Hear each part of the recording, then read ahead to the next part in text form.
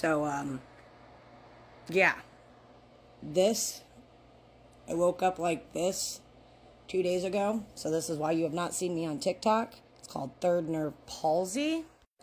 I literally woke up with my pupils one morning being two different sizes. I don't know why. Um, didn't have a headache, so I was just going to wait till the following day to make a doctor's appointment while my doctor was closed. Plus, I woke up with now this iritis, apparently, so my eye is now red on top of it. But the third nerve palsy, um, we're not exactly sure what's causing it. I'm currently sitting here waiting on a head CT to see if something's going on inside my brain. Um, possibilities could be aneurysms, tumors, microvascular problems, multiple things that could be causing the third nerve palsy. We're not sure yet, especially at my age. I'm only 36. Eye doctor said this wasn't normal. Um, I'll keep you all posted, but